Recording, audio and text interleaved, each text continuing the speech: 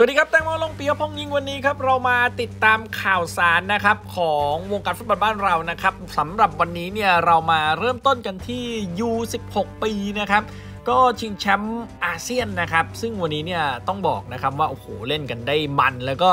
ดูเดือดสุดๆไปเลยนะครับสำหรับ U16 ในการเจอกับทีมชาติออสเตรเลียนะครับอะแต่ก่อนอื่นเลยอย่าลืมนะครับ กดไลค์กดแชร์กด Subscribe กดกระดิ่งแจ้งเตือนจะได้ไม่พลาดทุกคลิปความเคลื่อนไหวนั่นเองนะครับสำหรับทีมชาติไทยเนี่ยต้องบอกว่าประเดิมแบบไม่เสียหายนะครับ แต่ว่าแน่นอนแล้วครับเกมนี้ก็แอบโหดอยู่เหมือนกันเพราะเรามี 2 เหลือง 1 แดงนะครับก็กลายเป็นใบแดงอะเนาะแล้วก็โดนจุดโทษ แต่ว่าเราเซฟได้นะครับก็เห็นอยู่ว่าหลาย ๆ อย่างเนี่ยมันอาจจะต้องมีการปรับมีการเปลี่ยนนะครับสำหรับ การที่จะลงสนามแล้วคั่วในการแข่งขันชิงแชมป์อาเซียนในครั้งนี้นั่นเองนะครับ ก็เล่นกันที่สีเวดารีสเตเดียมประเทศอินโดนีเซียครับซึ่งชุดนี้เนี่ยก็เป็นชุดอายุไม่เกิน 16 ปีนะครับนัดแรกนะครับแล้วก็เจอกับออสเตรเลีย ซึ่งต้องบอกว่าเป็นการคัดตัวมาจาก FIFA ID Talent นั่นเองนะครับ ซึ่งก็อะมารวมกันเป็นทีมนี้นะครับสำหรับ รายชื่อของไทยเนี่ยนะครับก็มีสุปกรณ์ภูลผลนะครับภูริพัฒน์โพทองภูรินัทภูลกำลัง ดนุพล บุปผานะครับกัปตันทีมแล้วก็นัฐกิจโพสีชัยวัฒน์เงินมาปรเมศละอองดีสรกิจแก้วสีศิวกรพลสันชัดวันนะครับสหนันชัยชิดนะครับแล้วก็ คณะพจน์อินทสิงห์นั่นเองนะครับ คือต้องบอกว่าเกมนี้เนี่ยมาสเตอร์จันเด็ดนะครับ เป็นเฮดโค้ชของไทยเนี่ยก็วางดนุพลเนี่ยทำเกมร่วมกับชัยวัฒน์นะฮะแดนหน้าก็มีทางด้านของศิวกร แล้วก็ปรเมศ แต่ก็ต้องบอกว่ามีนัฐกิจเป็นสามประสานด้วยนะครับแต่แต่แต่ว่ามีโอกาสเยอะนะในเกมนี้นะครับ แต่ว่าเรื่องของจังหวะจบเนี่ยมันยังไม่คมนะครับ การไปกับบอลการให้เพื่อนการร่วมเล่น นะครับ มันก็มีหลายจังหวะที่เราควรจะได้นะครับ แต่ก็ไม่ได้ รวมไปถึงเกมรับเนี่ย เรามีโอกาสจะโดนหลายต่อหลายทีเขายิงมาติดบล็อกติดเซฟผู้รักษาประตูเซฟเคลียร์บนเส้นมงออกจากเส้นคือมันมีหลายสิ่งหลายอย่างเลยนะครับ ที่น้องๆเนี่ยอาจจะต้อง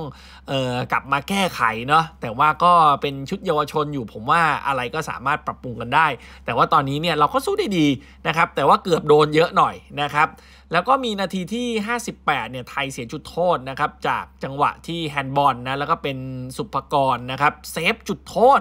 นะครับของจอแดนกราโอโรสกี้ไว้ได้นะ โอ้โห สุดยอดเลยลูกนี้นะครับ แล้วก็เล่นไปเล่นมาเราก็ได้บุกอยู่นะครับ แล้วก็ต้องบอกว่าน้องใหม่เลขเจ็ดของไทยเนี่ยนะครับ โอ้โห มีโอกาสเยอะนัฐกิจเนี่ยมีโอกาสเยอะมากไปเองไปเอง แต่ว่าสุดท้ายแล้วแบบเหมือนกับว่า จะได้ไม่ได้จะได้ไม่ได้ แกไม่ได้โศกด้วยแกก็ยิงนะเออ แต่ก็ต้องบอกว่าอันนี้มันปรับเปลี่ยนกันได้ไม่ได้ยากนะครับ แต่ว่าพอน้องมาดูเทปย้อนหลังเลยจะเห็นแล้วว่าบางโอกาสควรส่ง บางโอกาสควรยิงนะครับ ส่วนคนอื่นๆก็มีผิดพลาดกันไปตามเกมนะครับ ก็ต้องปรับกันไปนะครับ ทุกนัดเป็นการเรียนรู้อยู่แล้วนะครับ แต่ต้องบอกเลยนะครับว่าโอเค ได้ผลการแข่งขันที่ไม่ได้เสียหายมากนักนะครับ แถมเกือบลุ้นชนะได้เหมือนกันในบางช่วงบางตอนก็เสมอไปนะฮะแต่ว่ามันมี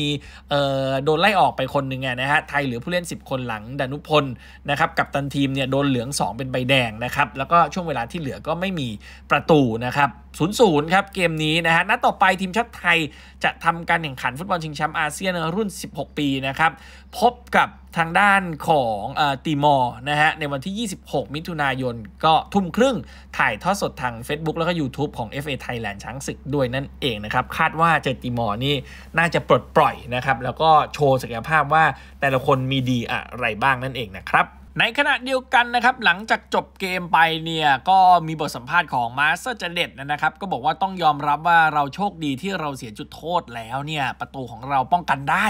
นะครับนอกจากนั้นเนี่ยเราพยายาม control เกมการเล่นของเรา เรารู้ว่าออสเตรเลียรูปร่างสูงใหญ่มาก แล้วก็พยายามกดดันเราด้วยลูกตั้งเตะ ทั้งลูกเตะมุมฟรีคิก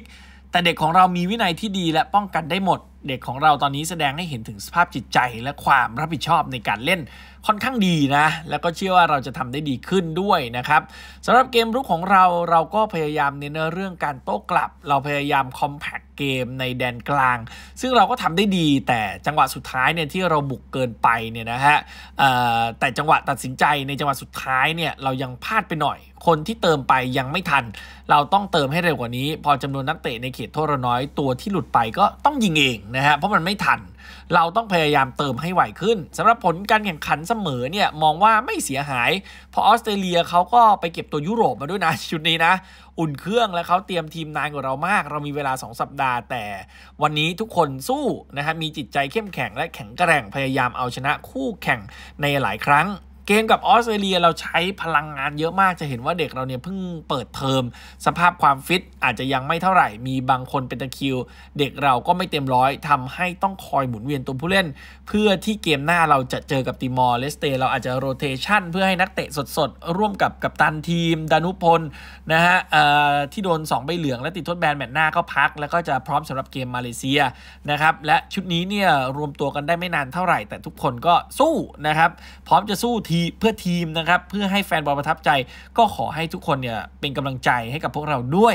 นะครับอะก็นั่นแหละครับว่ากันไปตามนั้นเดี๋ยวเกมหน้ามีโรเตชันและเกมสุดท้ายก็ต้องวัดกันใส่กันแบบ